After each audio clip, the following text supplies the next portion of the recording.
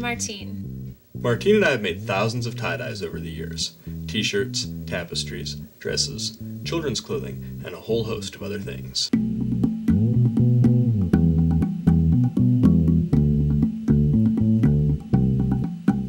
We've traveled to art shows, music festivals, and street fairs all over the United States. Chances are you've seen someone wearing one of our tie dyes, or maybe you even own one yourself.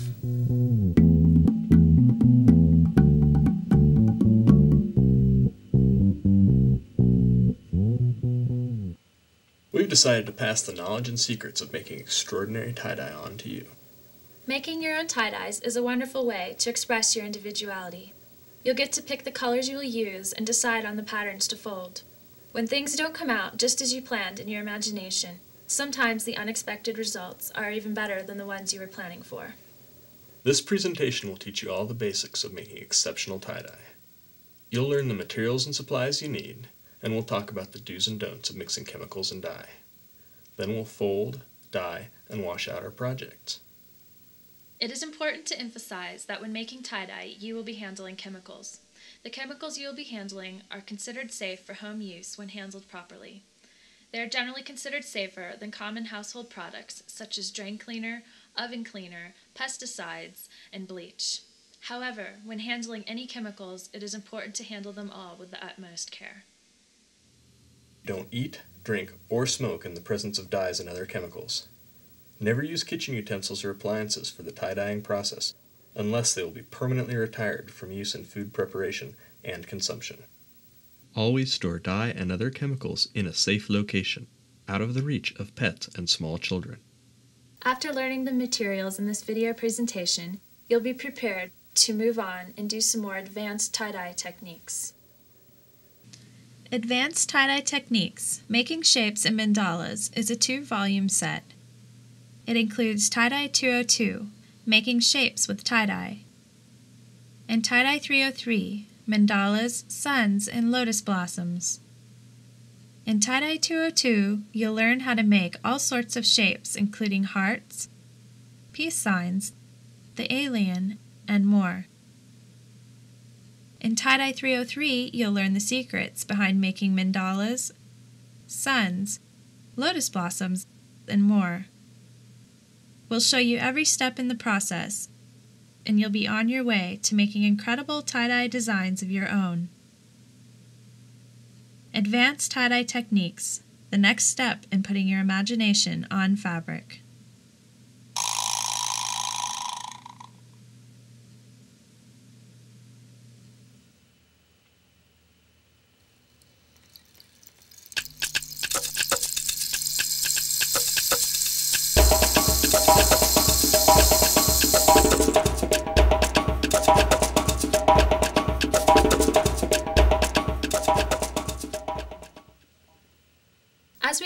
Tie-dye, the first decisions we need to make are what kind of dye to use and what kind of fibers we're going to dye.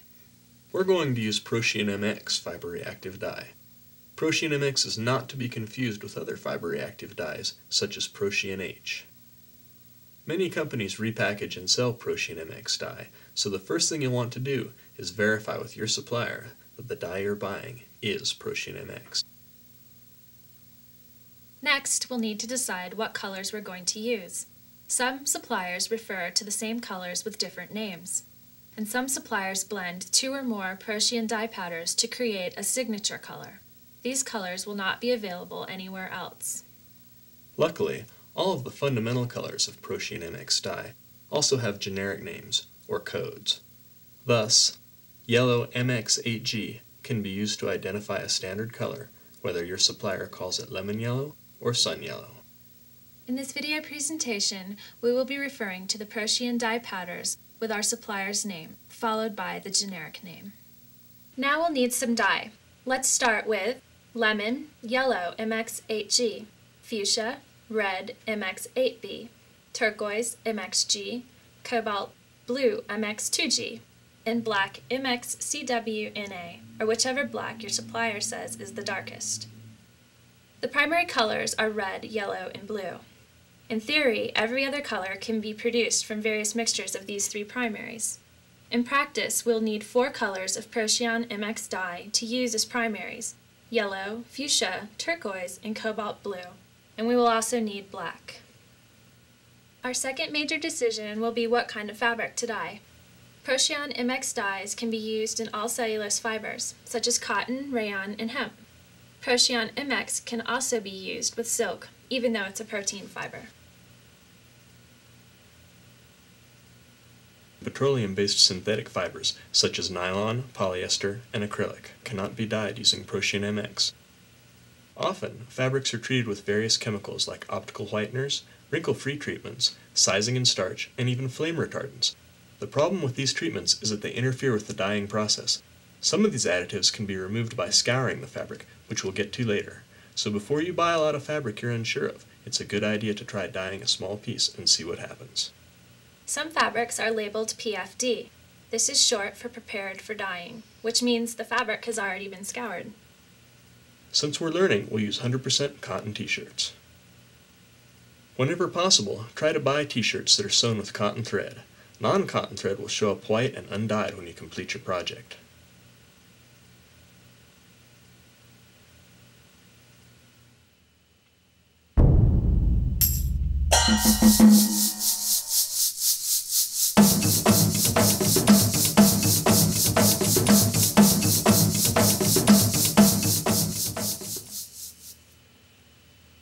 Now that we've selected our dye and fabrics, let's look at the rest of the chemicals we'll need. We'll need water softener, urea, kelp, soda ash, synthrapol, salt, and vinegar. Water softener is the most overlooked ingredient in making bright, color-fast tie-dye. Water softener is important to use because virtually all tap water and well water contains water hardness in the form of dissolved minerals. These minerals get deposited on the fiber you are dyeing and block the tie-dye from bonding. Every time you use water in the tie-dyeing process, you will need to soften it. You could either treat your water with a softening chemical or a reverse osmosis softener. Either of these methods works just fine. Unless you have an expensive reverse osmosis softener, you'll need the chemical water softener. You can purchase this chemical from your dye supplier, who also calls it sodium hexametaphosphate, or you can buy Calgon at the supermarket. The next chemical we will be using is urea. We will be using urea mixed with water to make our dye premix solution. Urea allows us to dissolve more dye into our premix solution. Urea is available from dye suppliers. You can also obtain it seasonally through garden supply and farm stores where it is sold as fertilizer. If you do buy your urea from a garden or farm shop, make sure you inspect it to be sure it is adequate purity. Your urea should be white. Urea with a yellowish or brown color is unacceptable for our purposes. If you are planning on making only one or two shirts, you will want to buy about one pound of urea. If you are making more tie-dyes, start out by buying at least five pounds. The next ingredient we will need is kelp, also known as sodium alginate. Kelp is used to thicken our dye premix solution. You will use this thickening effect to help control how far the dye spreads through the fabric. You can buy sodium alginate through your dye supplier, or you can buy powdered kelp at almost any natural food store. Two to four ounces will be plenty to get you started. The next chemical we need is soda ash. Its chemical name is sodium carbonate. Soda ash is also referred to as fixer. Its purpose is to shift the pH of the dye reaction from neutral to basic, creating optimal conditions for the dye to bond with the fiber. Soda ash and dye should not come into contact with each other until the dye is being applied to the fabric. Never mix soda ash powder or solutions with dye powder or solutions. Soda ash can be purchased through your dye supplier, or you can purchase it at stores that carry swimming pool supplies. Buy only 100% soda ash. If you will be dyeing only one or two shirts, buy one pound of soda ash. If you will be dyeing more, then buy at least five pounds. The next chemical you will need from your dye supplier is synthrapol. Synthrapol is a pH-neutral detergent, which is used in washing out tie-dyed fabrics. It helps to prevent staining areas that are intended to be white or light colored during the washout. If you are only dyeing one or two shirts, buy the smallest amount of synthrapol you can. If you will be dyeing more, start out with a pint or a quart of synthrapol. Another ingredient we will need is non-iodized salt. We will need salt to mix with the black dye. It helps the black dye bond more evenly and look blacker. The last ingredient we need is vinegar. Any kind works, so the cheapest is the best. The second time we wash out our tie-dye, we'll wash it with 2 cups of vinegar. This helps set the color in the shirt. Now let's review the supplies we've just talked about. You will want as many white 100% cotton shirts as you are planning to dye. For dye, you will need 2 ounces to 1 pound each of fuchsia red MX8B, yellow MX8G, turquoise MXG, cobalt blue MX2G, and black MXCWNA, or whichever black your supplier says is the darkest. You will need a pound or more of a chemical water softener unless you have a reverse osmosis softener. You will also need 1 to 5 pounds of urea, powdered kelp, 1 to 5 pounds of soda ash, 1 pint to 1 quart of synthrapol, non-iodized salt, and vinegar.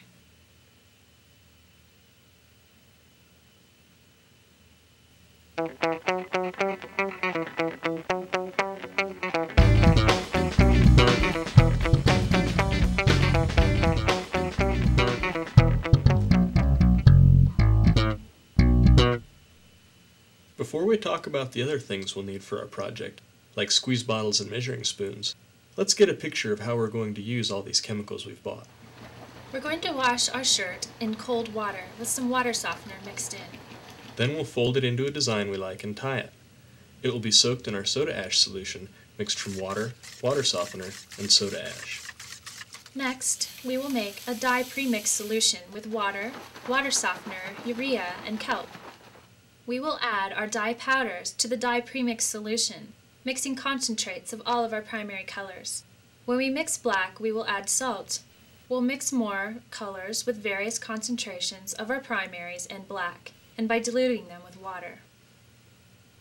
Once our fabric has had enough time to soak in the soda ash solution, we will take it out and dye it. When our dyed fabric has had long enough to react, we'll cut off the ties. Wash out the shirt using Synthrapol, hot water, and then cold water. After the shirt is dried, we'll wash it with vinegar and warm water. Everything we're using in this presentation, when handled properly, can be safely disposed of down the drain, regardless of if you're connected to a septic system or a city sewer. You'll want to dilute anything you pour down the drain with water. Before you start pouring any soda ash solution down the drain, keep in mind that it can be stored indefinitely. So if you're planning on tie-dyeing again, you can store it in a closed container.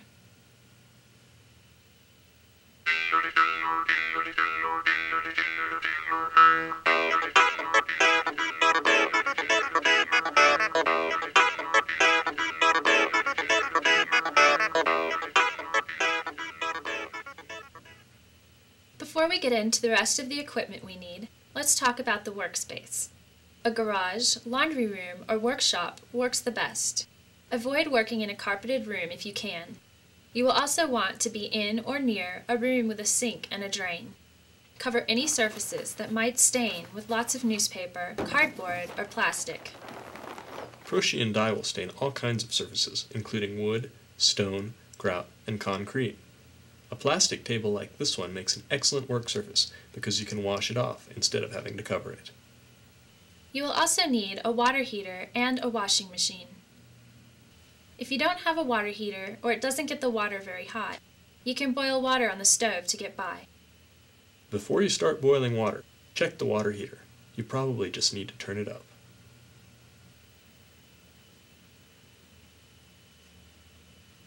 You will also want a good supply of rags. Old towels work best. Also, remember to work in a well-ventilated area. Let's review the supplies we've just discussed. We need a workspace, hot water, access to a washing machine, some cardboard, newspaper, or plastic, and some towels. A plastic table also comes in handy.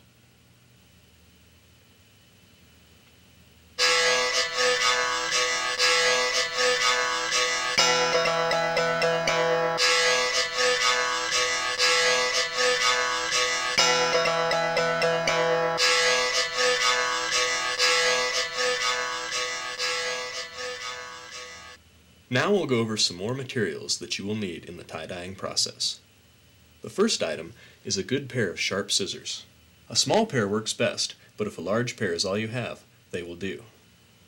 The next thing we need is a roll of wax thread, commonly known as imitation or artificial sinew. It's available in flat and round. We recommend flat imitation sinew. It can be purchased from leather goods suppliers and some craft stores. Next, we will need a measuring cup with standard or metric gradations. It is fine to borrow one from your kitchen. We will just make sure it doesn't come into contact with any of our dyeing chemicals. You'll also need a permanent marker. We'll be using it to mark volume measurements on the plastic containers we'll talk about next. You will also need a package of washable markers. We'll use these for drawing temporary designs on the fabric. We will need two plastic one gallon jugs. You may use empty milk jugs, water jugs, or vinegar jugs. We will use one jug for mixing our dye premix solution and the other jug for softened water. We'll also need at least one two gallon bucket with a lid. We'll use this for mixing our soda ash solution. If your sink isn't in your work area, you'll want a few more buckets to hold water for rinsing and cleanup. Next, we'll need some wide mouth plastic bottles with lids, preferably dispenser lids. We recommend wide mouth bottles so you can transfer dye powders directly to the bottle with a measuring spoon. We recommend you find a bottle that holds 2 to 4 cups of liquid. You'll want to have at least 5 of these. The best wash bottles are available through scientific or plastics companies. We will also need smaller squeeze bottles with spouts on the lids. We will be using these bottles to mix colors using the dye concentrates from the wide mouth bottles. We will also mix dilutions in these smaller bottles. Eyedroppers come in handy for applying dye precisely.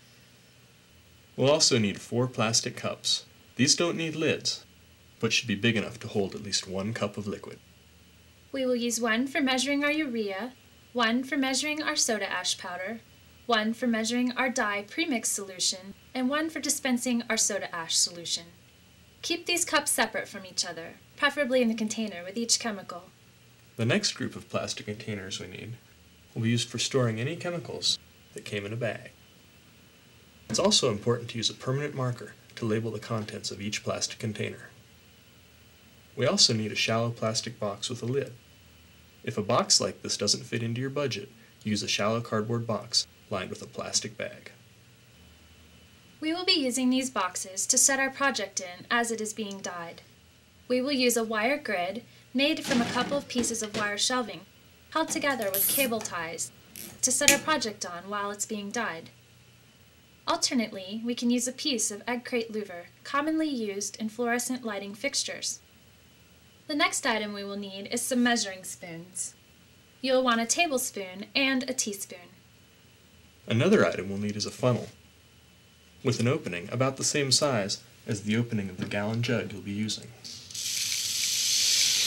We also need a stir stick or a whisk for stirring our soda ash powder into water. Let's go over all of that and make a list. We need scissors, flat imitation sinew, a measuring cup, a permanent marker, washable markers, two one gallon jugs, one two gallon bucket, and additional buckets as needed for rinsing and cleanup. Wide mouth bottles, squeeze bottles, eyedroppers, four plastic cups, plastic containers for storing chemicals, one or more shallow plastic boxes with lids, some wire shelving and cable ties to build a grid or egg crate louver, measuring spoons, a funnel, and a whisk. If you decide to construct a grid, you'll also need to borrow some bolt cutters.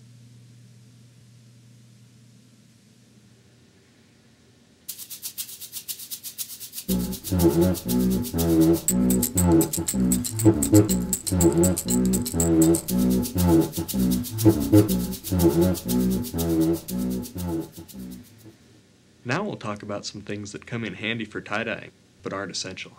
For folding a spiral design, a fork makes getting started easier. We pounded ours flat. If you decide to dye items made from rayon, silk, or gauze, you'll want a mesh bag to wash them in. Mesh bags are commonly used for washing delicate items like sweaters and lingerie. If you have leftover dye solution, which you would like to use later, fill a cooler with some ice to keep them cool. A small refrigerator will also work and will keep you from having to buy ice. At room temperature, dye solutions begin to lose strength after only three hours. If we store them in a cooler, on ice, or in a refrigerator, they can be stored and used for two weeks or more. A microwave is also useful because it accelerates the dye reaction. Rather than having to let your project sit overnight and wait to wash it out, you can have it ready in a few minutes. When you microwave a project, place it in a plastic container or a plastic bag to keep moisture from escaping. If too much moisture escapes, dry fabric will scorch and burn. A covered t-shirt can be microwaved for about 3 to 5 minutes on a high setting. Microwaving silk dyed with Procion MX dyes sets the dye, resulting in bright, vibrant color. It is not safe to use a cooler, refrigerator, or microwave for food preparation or storage after it has come into contact with dye and chemicals. A wet-dry shop vac can also come in handy for removing excess dye from the project box. Alternately, you can use your towels or rags to soak up excess dye. Let's take another look at the optional equipment. A fork, a mesh bag, a cooler with ice or a small refrigerator, a microwave, and a wet-dry shop vac.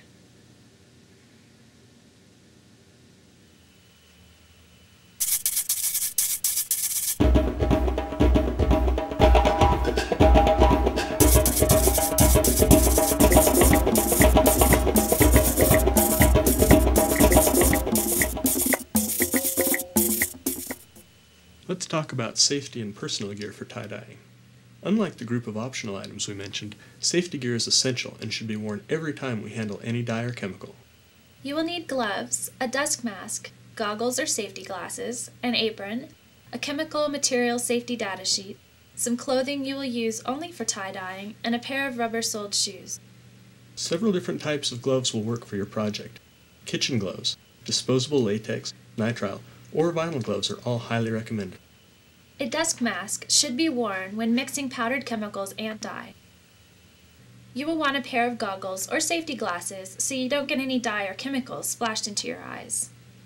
An apron will help to keep you clean and dry. Obtain the Material Safety Data Sheet, or MSDS, for each chemical you purchase, which will explain specific risks involved and what to do in the case of an emergency. For clothing, we recommend something you don't mind being splattered with dye. It is also best to cover as much of your body as possible. If you do get dye on any part of your body, you can wash it off with soap, warm water, and a washcloth or scrub brush.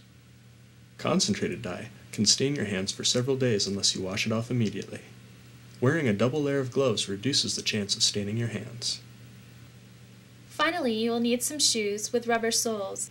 The floor will become slippery if something gets spilled. Be sure to wear good shoes and wipe up spills immediately.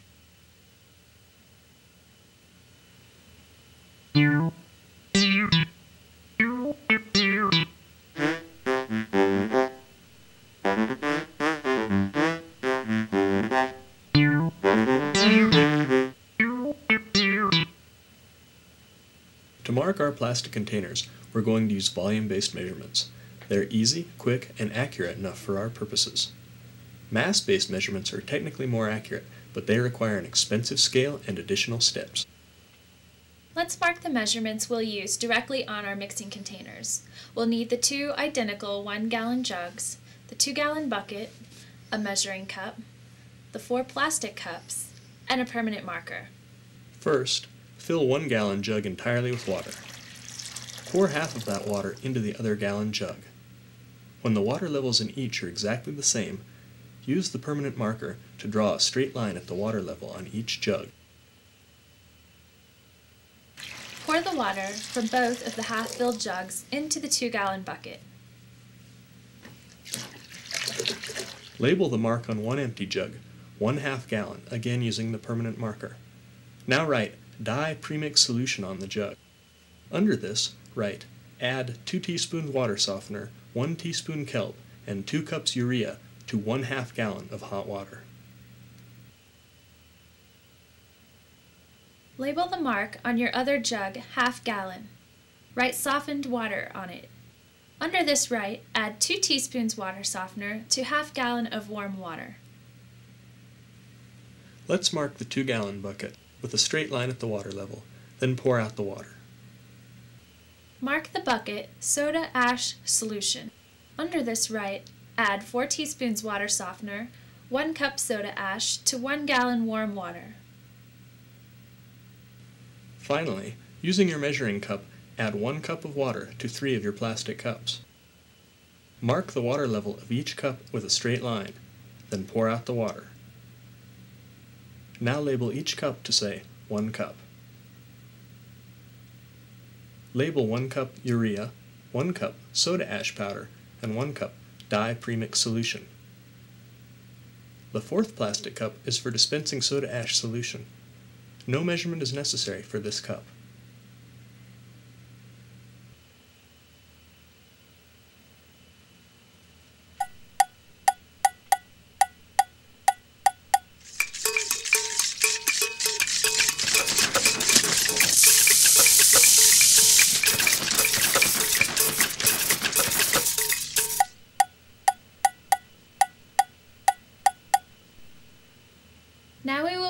Mixing our chemicals and dyes.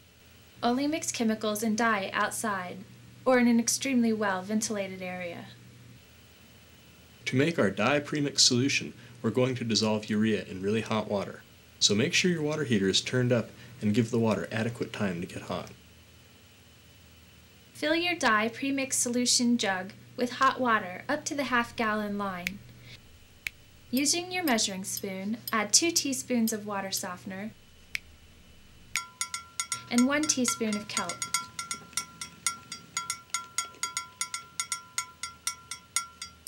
Using the plastic cup marked urea and the funnel, add 2 cups urea to your jug.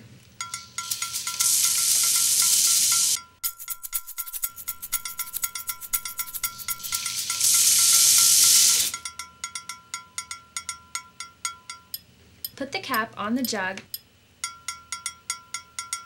and shake it until everything is dissolved.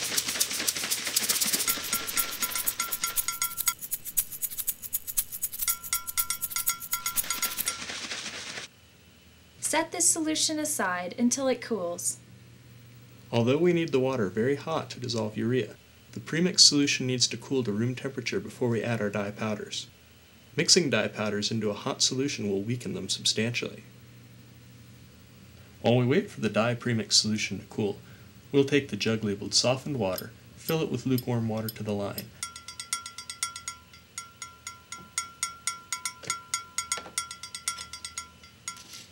And add 2 teaspoons water softener.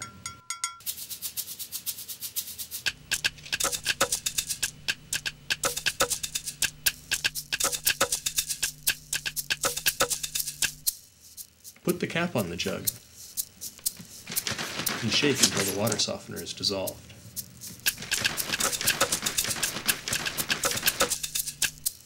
Now we will fill our soda ash solution bucket with lukewarm water up to the line. Add 4 teaspoons water softener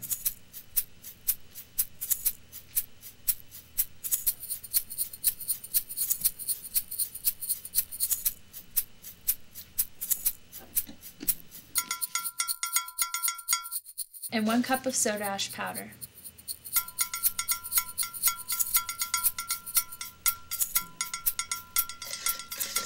Stir with your whisk until soda ash and water softener is completely dissolved.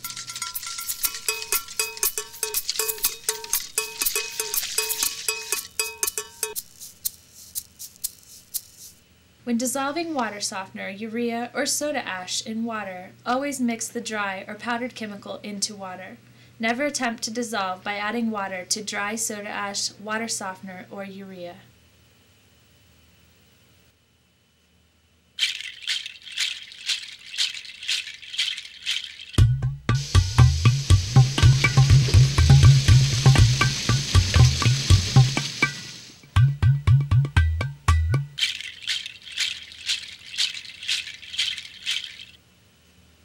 While we give our dye premix solution a bit more time to cool, we can wash the fabric we're going to dye to prepare it for folding and tying. If you're confident you can dye your fabric without scouring it, pre-fill your washing machine with cold water. Add 1 half cup water softener for a small load, 3 quarters cup for a medium load, and 1 cup for large loads. Let the machine agitate until the water softener dissolves. Then add your fabric to the machine. If you're pre-washing a delicate fabric, don't forget to put it in a mesh bag. Allow the machine to agitate fully and spin it out manually without giving it a chance to refill. Now your fabric is ready to fold. If you do suspect that your fabric might have additives or finishes applied to it, or if you're dyeing silk, you'll want to scour it. Before you begin scouring, make sure your water heater is turned up. Pre-fill your washing machine with hot water. Add water softener in the same amounts we used for a regular pre-wash, plus 1 teaspoon Synthrapol and 1 teaspoon soda ash for every yard of fabric you'll be scouring. Two t-shirts is about one yard. Put your fabric into the washing machine and allow the machine to run through an entire hot-cold cycle. Don't forget to add more water softener to the washing machine after it fills up for the last time. When the machine finishes, your fabric is scoured and ready to fold.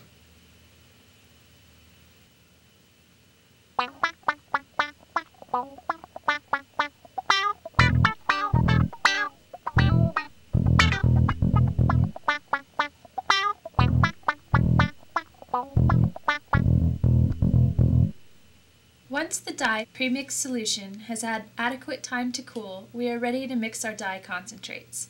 If you dedicate a wide mouth bottle to each color, you may want to label each bottle with its color name.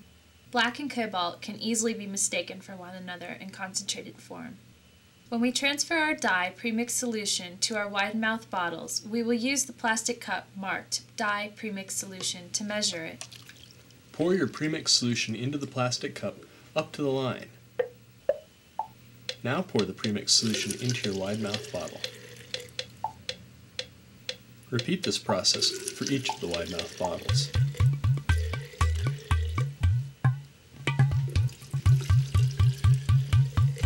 The first color we are going to mix is lemon, yellow MX8G.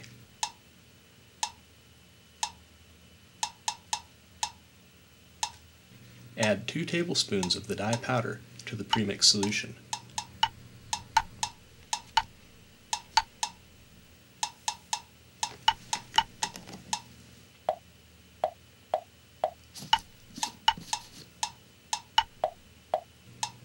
Put the lid on the wide mouth bottle and shake it vigorously until all of the dye powder is completely dissolved. Wipe off the measuring spoon before mixing the next color.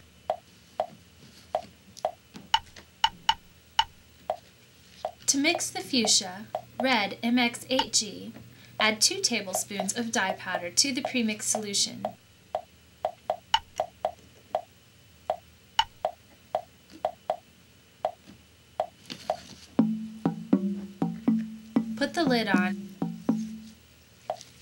Shake it until all of the dye powder is dissolved.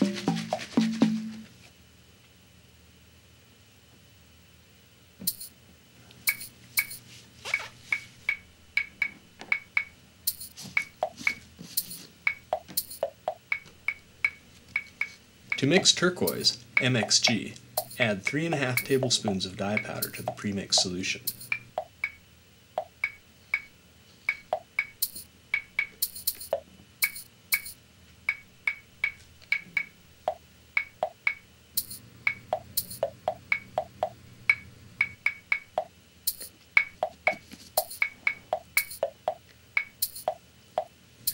Lid on and shake it until all the dye powder is dissolved.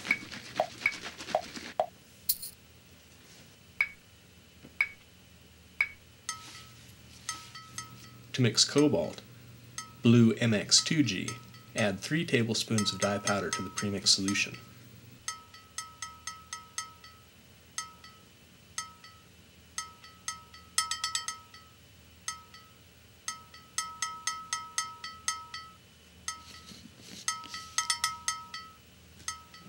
Close the lid and shake vigorously.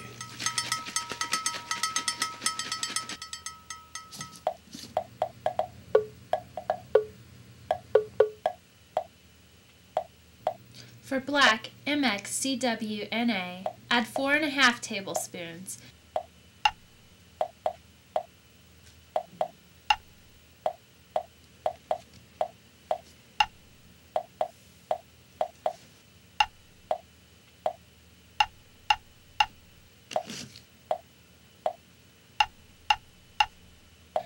And 2 tablespoons non-iodized salt to the premixed solution.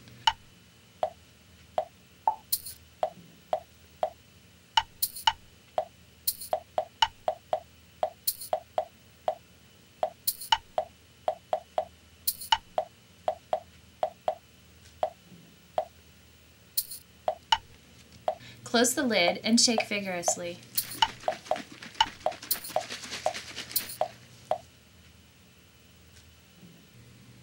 If any of your dye concentrate solutions won't dissolve completely, you can add up to 10% softened water to help them dissolve.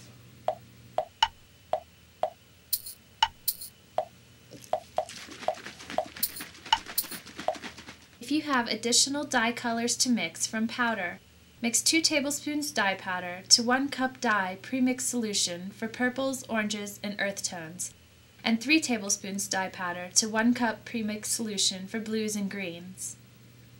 Whenever handling dye powders, be sure to replace the lid on each container as soon as you have finished measuring from it. This will reduce the amount of dye powder that can become airborne dust. Clean up any powdered dye or chemicals you spill immediately before the mess can spread.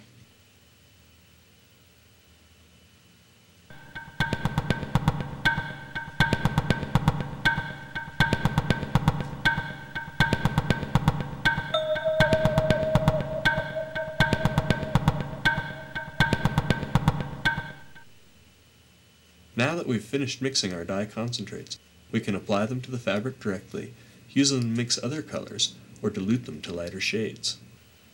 We can dilute any color we choose, including colors we've mixed from two or more primaries. Whenever you dilute a color solution, use only softened water. Never dilute with dye premixed solution. Diluting with dye-premix solution is not advised since this alters the ratio of urea to powdered dye, which we've already carefully established. Never dilute a color with soda ash solution. Dye exposed to soda ash will become inactive in a few hours. Let's take a look at mixing a few important colors from our concentrates.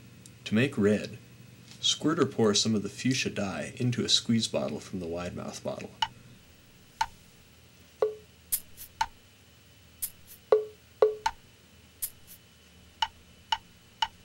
Use about two-thirds fuchsia to one-third yellow.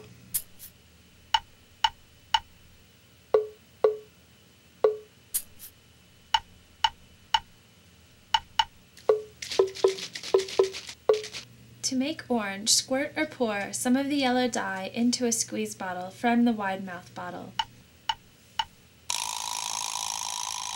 Use about 90% yellow to 10% fuchsia.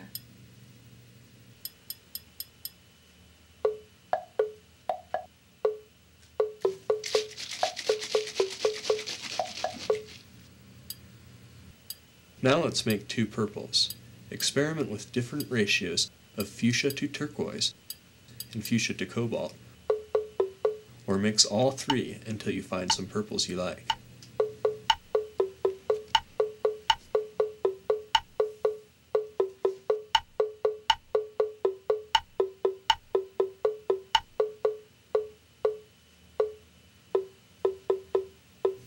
Alternately, you can mix blue and or turquoise with the red we just mixed for an entirely different range of purples. We will make different shades of green from various mixtures of yellow, turquoise, and cobalt.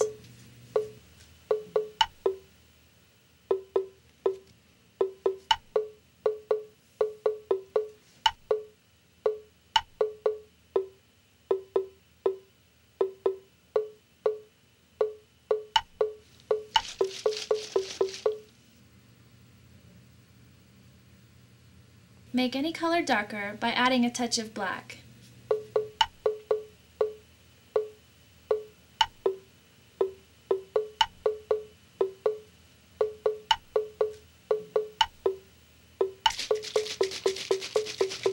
Using softened water, you can expand your color palette by making dilutions of various strengths from each of your colors. For example, fuchsia can be diluted to nearly any shade of pink. Now that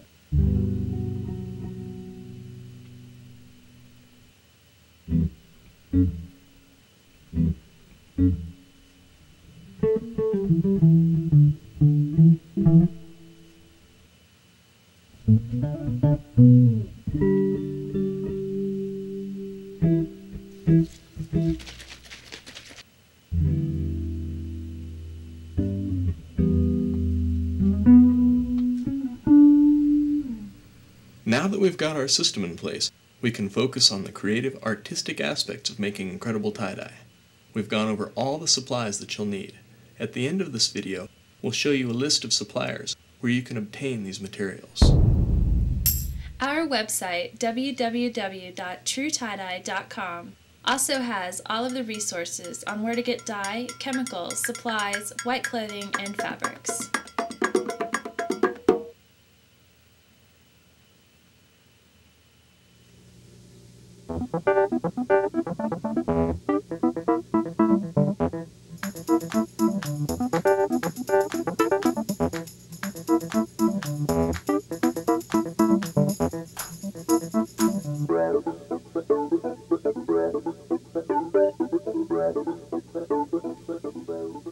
Let's start with our most basic technique and experiment with making various gradations.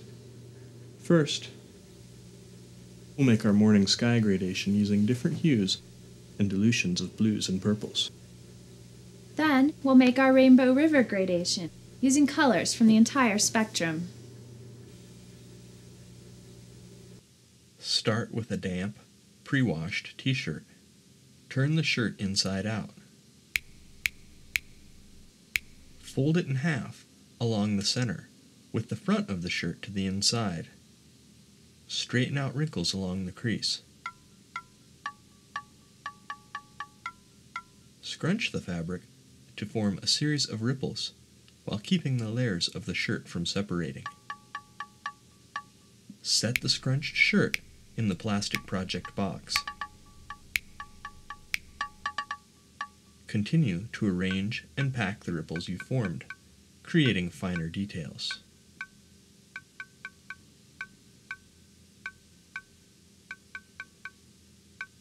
Put on gloves and pour soda ash solution over the shirt until the fabric is completely saturated.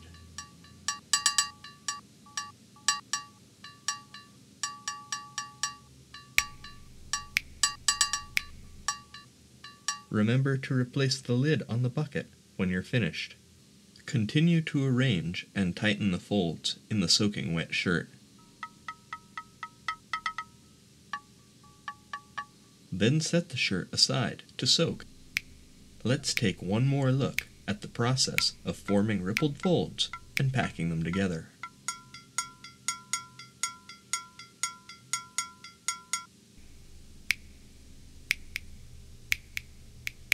Let's mix the colors we'll need for the morning sky gradation using the dye concentrates we mixed earlier. Start by pouring some fuchsia dye concentrate into a squeeze bottle. Add turquoise and cobalt to make a purple you like. Squirt some of this purple into another squeeze bottle and add softened water. We'll call this first dilution of purple the strong dilution. Pour some softened water into another squeeze bottle. Add a much smaller amount of purple, a dozen drops or so, to this bottle. We'll call this second dilution of purple our weak dilution. We also need a strong dilution of turquoise. And finally, a weak dilution of turquoise. Even dilutions containing minuscule amounts of dye can produce appealing colors. Remember, dye colors always look darker in the bottle, so make sure the colors you mix are slightly darker than what you're hoping for in your finished project. Now we'll apply the dye and create our morning sky gradation. Tilt the project box, allowing excess soda ash solution to drain away from the shirt. Apply your weak dilution of turquoise in a stripe across the center of the shirt. Apply your weak dilution of purple next. On the other side of your weak turquoise stripe, apply your strong dilution of turquoise. Add a stripe of your strong purple dilution next to the weak purple. Working outward, apply concentrates of turquoise, purple, and cobalt. Apply more cobalt next to the purple. Repeat the color sequence we just established until the shirt is completely covered with dye. If you want to store the project box flat, once you're finished applying dye, you can remove the excess dye and soda ash solution with a wet dry shop vac. Alternately, you can use shop towels to soak up excess solutions. Put the lid on the box and set it aside. Here's what our finished project will look like after the washout. Next we'll dye the Rainbow River gradation as soon as we mix the rest of the colors we'll need. Mix red using about two thirds concentrated fuchsia and one third concentrated yellow. Mix orange from concentrated yellow and 5 to 10% concentrated fuchsia. Make dark red by adding black to some of the red we mixed. Finally, we'll make a golden yellow by adding a small amount of orange to concentrated yellow. As you prepare to dye the Rainbow River, don't forget to tilt the project box so excess soda ash solution and dye can drain away. Start by applying a stripe of yellow. Then apply orange, red, turquoise, and purple. Continue to apply colors in this relative order so they appear on the shirt in the same order they appear in the spectrum. Put a smaller stripe of dark red through the center of each red stripe and a small stripe of golden yellow through the center of each yellow stripe before setting the project aside to react. Here's what our shirt will look like after it's been washed out. Notice the green, which formed right on the shirt where the turquoise and yellow ran together.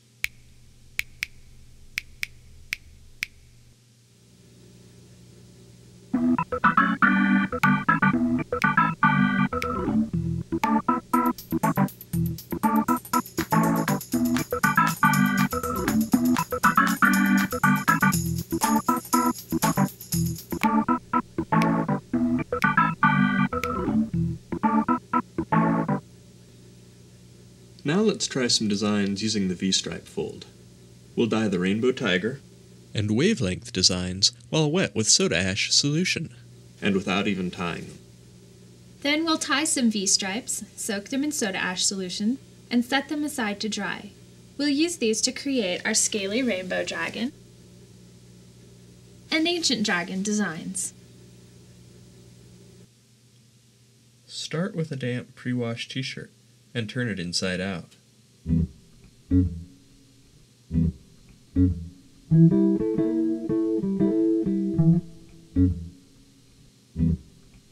Fold it in half along the center. Smooth out any wrinkles, especially those along the crease. Using the washable marker, draw a diagonal line from the sleeve shoulder to the center crease. Draw more guidelines parallel to the first. Draw another line perpendicular to these and form a new crease along it. Raise a fold along this crease. Pinch the shirt to raise more folds parallel to the original and pack the series of folds together. Keep the heights of the folds even, approximately 1.5 to 2 inches. Continue to form folds in this fashion until the shirt is completely folded. Transfer the shirt to a plastic project box. Put on gloves and pour soda ash solution over the folded shirt until it is completely saturated. Let's take one more look at drawing guidelines and folding the V-stripe pattern.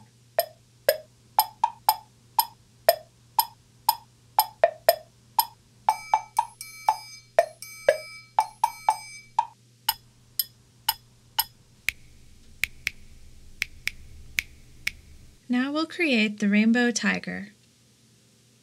Before we start dyeing, we'll add more purple to our color palette by mixing turquoise and cobalt with fuchsia. Also mix a distinguishable bluish purple using only turquoise and fuchsia.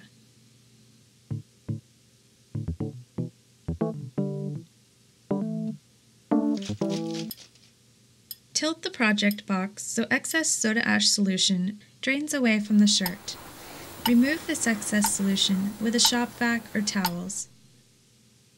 Dye the underside of the folded shirt black.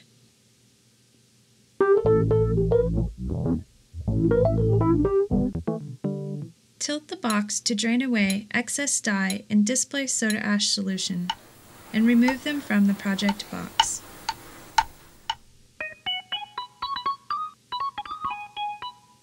Working out from yellow, Apply orange, red, turquoise, cobalt, and purple.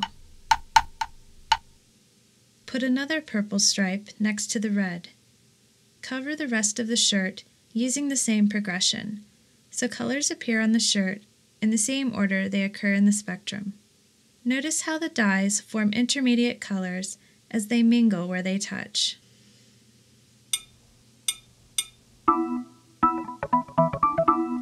Make light colored areas, like yellow, wide enough that they won't be lost as the dye spreads. Augment each red stripe with a narrow stripe of dark red, and each yellow stripe with a narrow stripe of golden yellow. Accent each turquoise stripe with the bluish purple we mixed using turquoise and fuchsia. Tilt the project box, draining away more excess dye and display soda ash solution. Remove this mixture from the project box with your towels or shop vac. Put the lid on the box before setting your project aside to react. Here's what the finished Rainbow Tiger shirt will look like.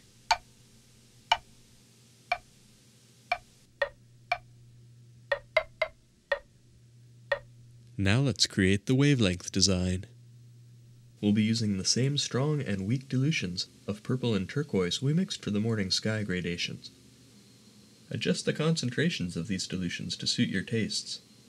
In general, strong dilutions, weak dilutions, and concentrated dye solutions just need to be easily distinguishable from one another in the bottle and when applied to fabric. Tilt the project box to allow excess soda ash solution and dye to drain away from your shirt. Apply your weakest dilutions of turquoise and purple. Working outward, apply the strong dilutions of turquoise and purple, followed by concentrates of turquoise and purple. Apply cobalt, and repeat this color combination until the entire surface of the shirt is covered with dye. Remove excess solutions before setting the project aside to react. Here's what the shirt will look like after it's been washed out.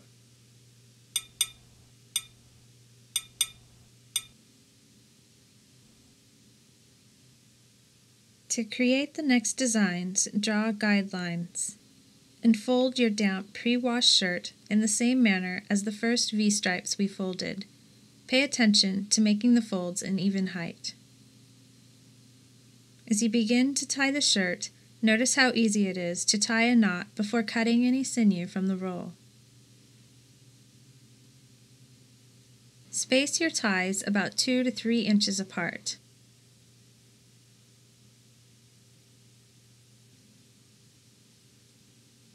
Your ties should be tight enough that they cause the shirt to compress. Cut the sinew far enough above the knot that the tails won't slip out should the knot loosen. Continue to add evenly spaced ties, compressing the shirt. Never take your eyes off the scissors. Hold the sinew so your fingertips don't get too near, and take care to not nip your shirt. When you finish tying the shirt, submerge it in soda ash solution for at least 15 minutes.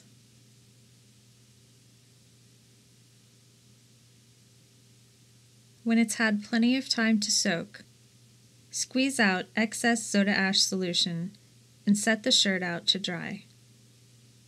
It can take several days for a shirt to dry, so plan ahead.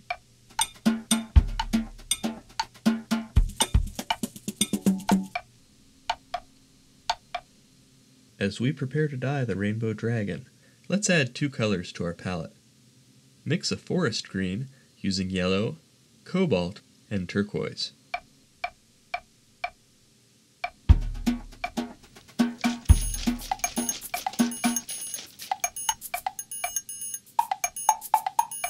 And an avocado green using yellow and relatively smaller amounts of turquoise and cobalt.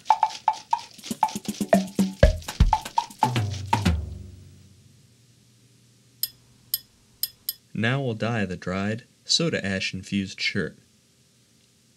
Apply red, orange, yellow, turquoise, and purple. Repeat this combination, starting over with red. Take care to apply enough dye to penetrate the layers of fabric, but don't oversaturate. Notice how the dye spreads differently through the dried fabric. Continue to apply colors in the same order until the side you're working on is covered with dye. Within each red stripe, apply a narrower stripe of dark red. This is one practical method of making a color appear to have more depth. Then flip the project over. Apply your weak dilution of purple, then forest green, avocado green, cobalt, dark red, a strong or medium dilution of turquoise, and red augmented with dark red. Instead of repeating this progression, apply more colors in a new order. Dyeing each side of the project using different color combinations reveals the relationships between the folds we made in the shirt, resulting in complex alternating patterns which resemble scales. Avoid dyeing both sides the same color at the same point. As you decide what color to apply next, consider how it will look next to its neighbors on both sides of the project. There are countless patterns that can be produced just by changing the order and frequency of colors. As you add colors, notice how the dyes you've applied continue to form more colors as they creep together. As you gaze along the side of the folded shirt, you can begin to see what the alternating pattern will look like. This view also shows why it's important to not oversaturate with dye. If you apply too much dye, colors on opposite sides will run together. With a little practice, you will develop a feel for applying just the right amount of dye.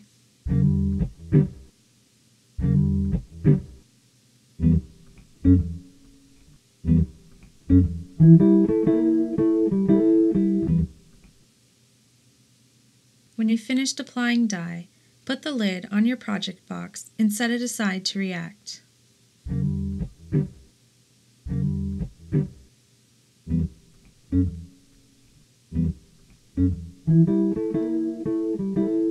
Here is what our finished Rainbow Dragon shirt will look like after it's been washed out.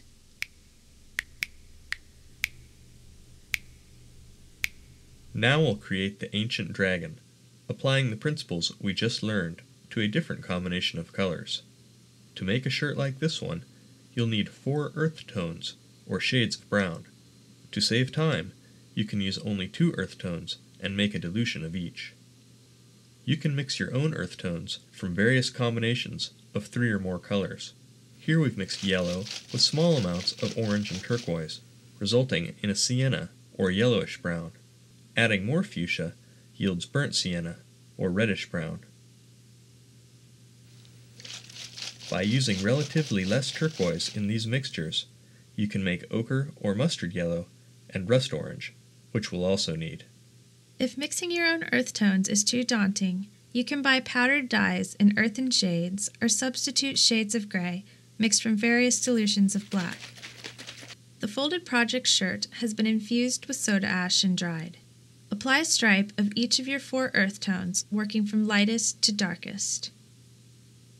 Repeat the sequence as you cover the rest of the first side of your project. Flip your project over and apply dark red, rust orange, mustard or ochre yellow, avocado green, forest green, dilute turquoise, dilute purple, and purple. Repeat this sequence until the shirt is covered with dye. Here's what our finished Ancient Dragon shirt will look like.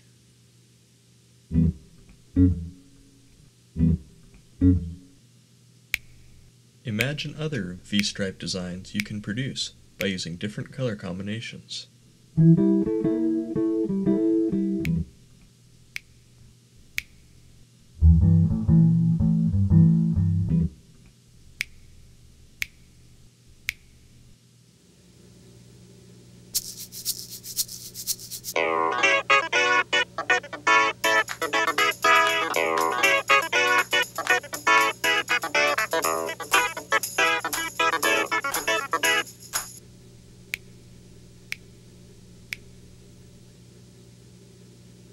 Next we will learn to fold the spiral design.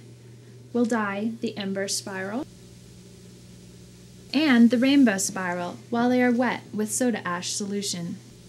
We will also allow some of our spirals to dry after they've soaked in soda ash solution. We'll use these to create our fire spiral and our nebula spiral and chimera.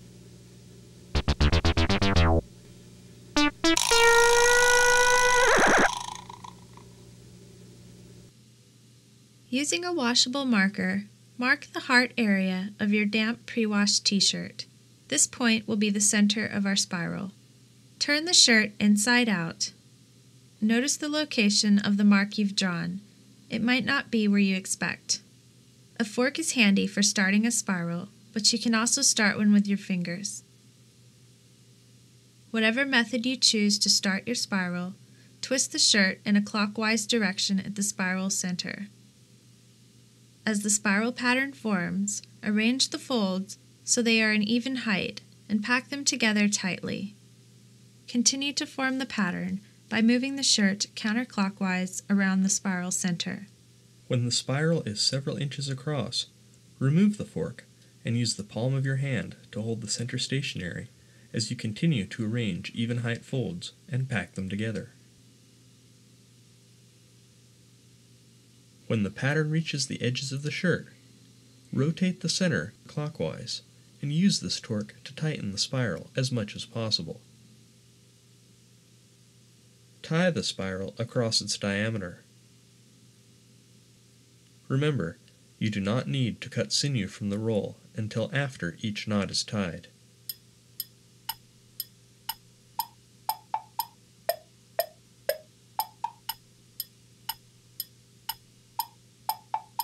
Tie the spiral across its diameter again, perpendicular to the first tie. Keep the spiral flat as it compresses. Continue to tie the spiral across its diameter until there are no more loose edges.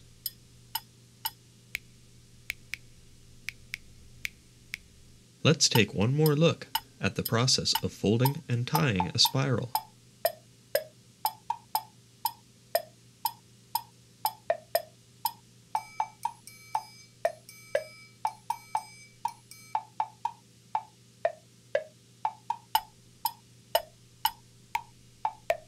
Put the tied spiral in a plastic box and pour soda ash solution over it until the fabric is completely saturated. You can reuse excess soda ash solution as long as it doesn't get contaminated with dye.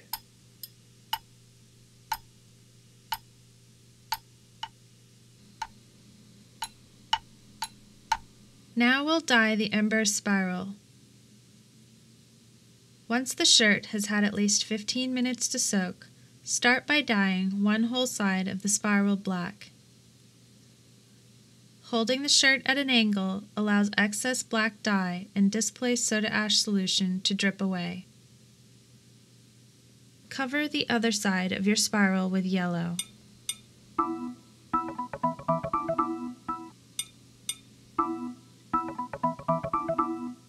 Draw two pie-shaped wedges of red on top of the yellow. Because dyes are translucent, layering colors on the fabric can produce deeper, more vibrant colors.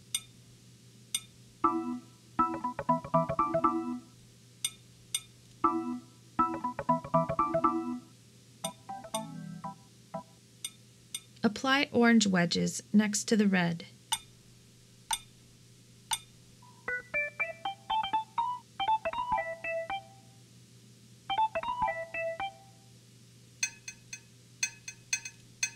Continue layering colors by bisecting each red wedge with a streak of dark red.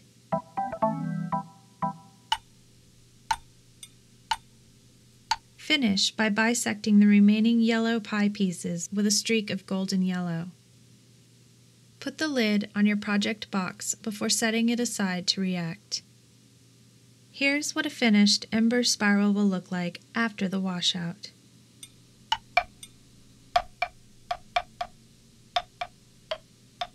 The other spiral design we'll dye while wet with soda ash solution is the rainbow spiral. Apply yellow, red, orange, turquoise, purple, cobalt, and dark red. Flip the spiral over and repeat this combination in such a manner that each color appears in a corresponding location on both sides. Here's what a finished rainbow spiral will look like.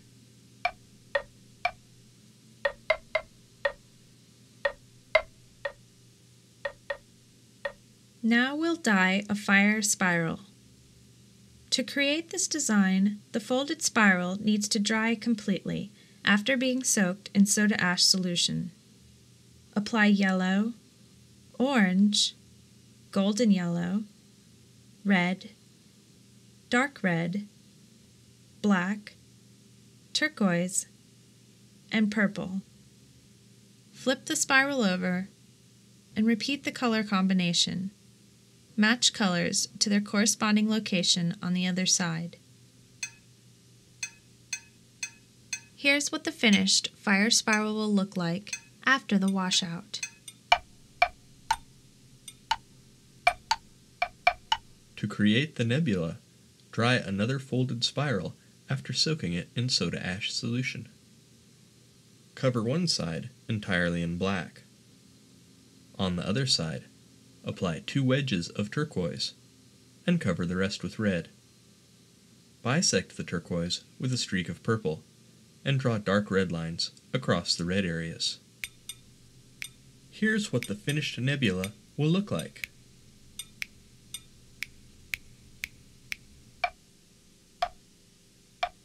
Let's advance and create the chimera. This spiral has been folded on rayon sheeting soaked in soda ash solution and allowed to dry. Apply red, orange, yellow, turquoise, and cobalt. Repeat this color progression until the first side is covered. Augment red wedges with dark red and flip the spiral over. To create an alternating pattern, we'll use different colors on this side. Apply a wedge of purple overlapping the intersection of turquoise and cobalt on the other side. Apply your rust orange mixed from orange, fuchsia, and a relatively tiny amount of turquoise, and your mustard or ochre yellow mixed from yellow and relatively tiny amounts of orange and turquoise. Apply avocado green, dark green, turquoise, and purple. Starting over with dark red, Repeat the sequence of colors until the rest of the spiral is covered. Here's what our finished chimera will look like. Remember, it's not important that your colors match ours exactly. Simply let the concepts of color mixing and arrangement you've learned guide you as you explore mixing your own colors.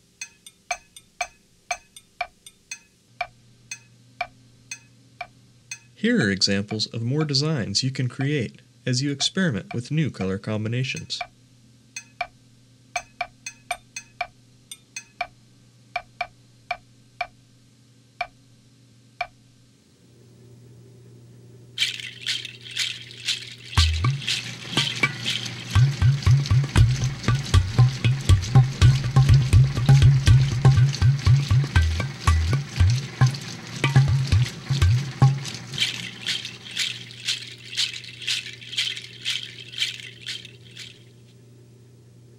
After the dye has been applied to our projects, we need to set them aside while the dye reacts and bonds to the fabric.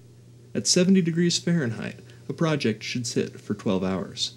At 60 degrees Fahrenheit, it will need about 18 hours to react. Temperatures significantly below 60 degrees can be too cold for the dye to completely react. So put your project somewhere warm. If you don't want to wait the standard 12 to 18 hours, cover your project and microwave it until it's hot. When dyeing silk, heat from microwaving is the necessary catalyst to achieve maximum color saturation.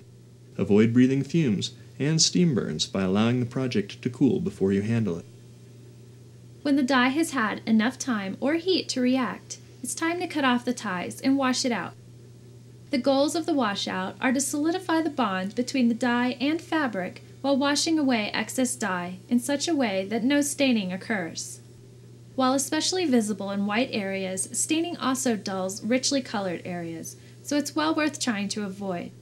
Start by turning your water heater all the way up and give the water plenty of time to get hot. Be careful to avoid scalding yourself. Pre-fill the washing machine with hot water and carefully cut the ties off of your dyed fabric. Allow the machine to begin agitating and drop the fabric into the machine.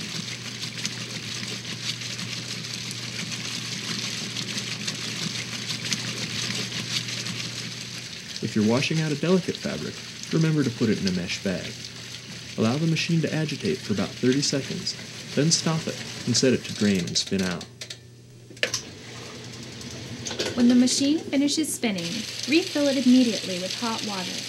When it begins to agitate, add 2 teaspoons Synthrapol for a small load, 4 teaspoons for a medium load, and 6 teaspoons for a large load. Then let the washer run through an entire hot cold cycle. When you can leave the washer unattended, it's a good time to rinse off your grid and project box. After the washout, hang the items out to dry or put them in the dryer. It's always best to hang dry delicate fabrics like rayon and silk. Don't forget to turn your water heater back down when the washout is finished. You'll save on your energy bill and prevent someone from getting scalded. When your project is dried, wash it again in warm water with vinegar. This will remove any loose dye that remains on the fabric and prevent it from staining when the fabric first comes in contact with perspiration or precipitation. We'll use one cup of vinegar for a small load, one and a half cups for a medium load, and two cups for a large load. When your project has dried, it is ready to display or wear.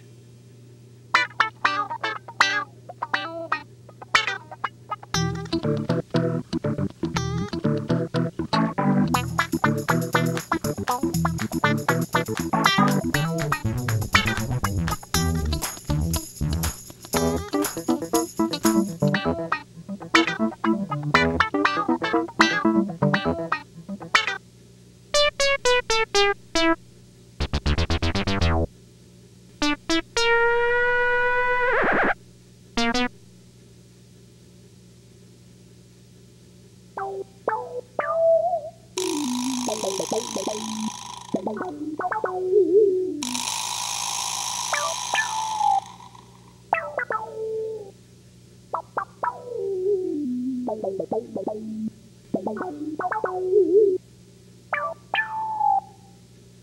Finished your project and everything has turned out just as you planned, congratulations! It's time to make some more outstanding tie-dye. Unfortunately, things can go wrong, but don't worry. If there's a disaster, we'll just identify the cause and try again. Let's look at some common problems and their solutions. If your colors are vibrant, but you have more white area than you anticipated, you probably just need to apply a bit more dye. Conversely, if your colors have all run together and formed a muddy brown, you probably just need to apply less dye. The distance that the dye spreads is heavily influenced by the type of fiber you are dyeing and how it is woven. You will find that some fabrics produce the best results when dyed wet with soda ash solution, while others dye better when slightly damp or bone dry. You may find that you have the right amount of dye coverage, but the colors seem to lack intensity. This can be caused by a variety of factors, so let's go through them in order. First, confirm your fabric is a cellulose fiber, like cotton or rayon, or that it is silk.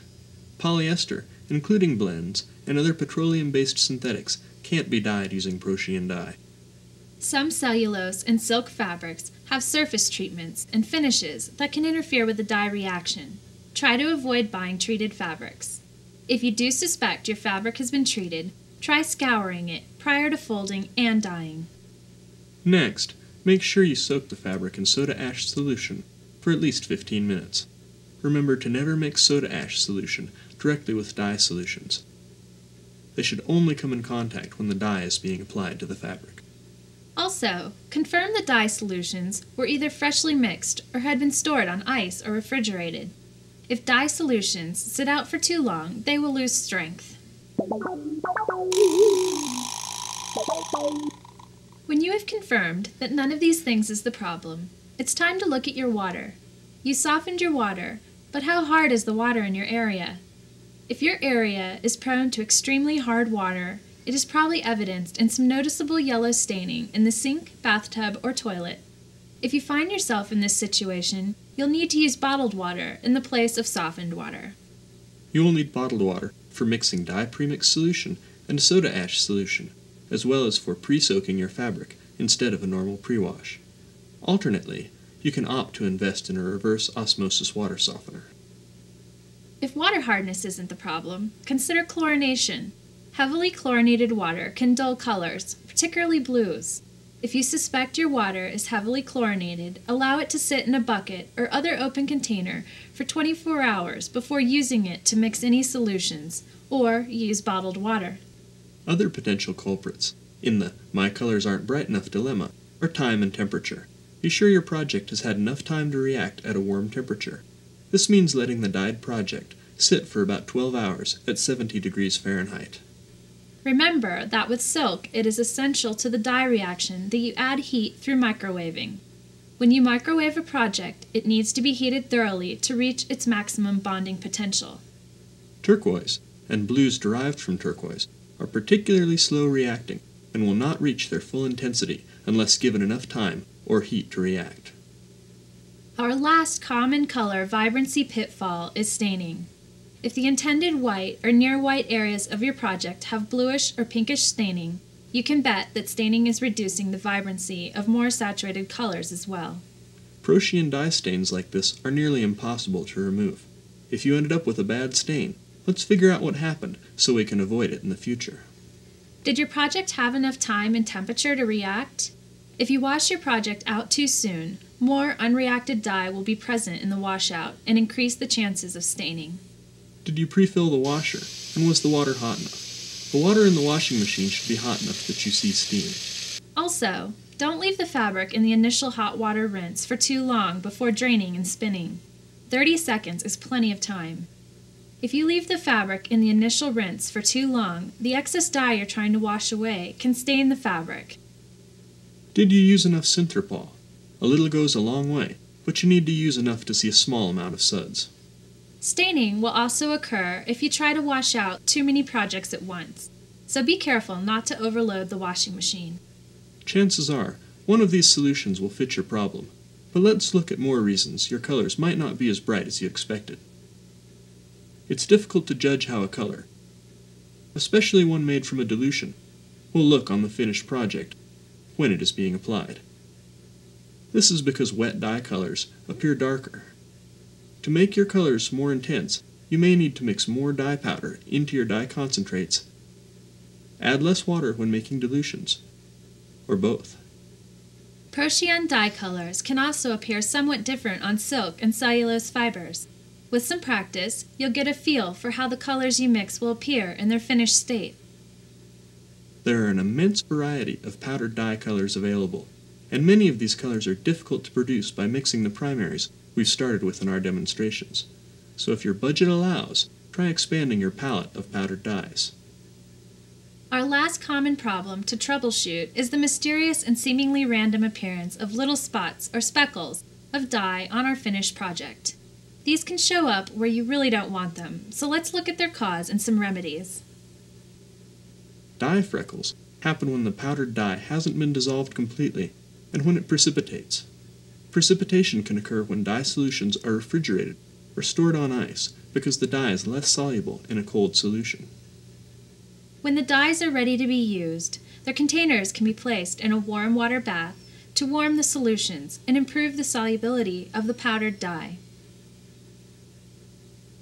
If solubility and freckling are a problem with room temperature dye solutions, you can add up to 10% dye premix solution or 10% warm softened water to help the dye dissolve. Just remember, dye premix solution is for dissolving powdered dye and not for making dilutions. If you're still having solubility issues, you can try dissolving the dye by gradually adding dye premix solution to the dye powder while pasting them together with a spoon. You can also strain your dye solutions through coffee filters to remove any undissolved material. If you choose to strain your dye, don't add kelp to your dye premix solution.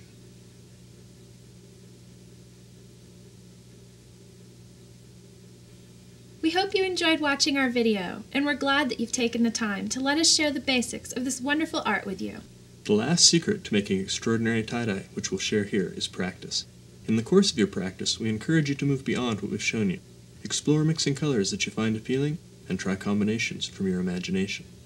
When you make something really unique, be sure to send or email us a picture.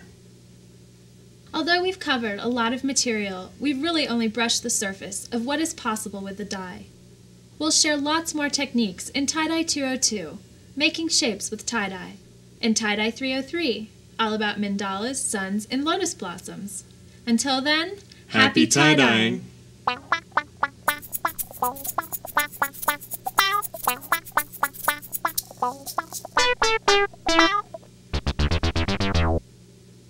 you.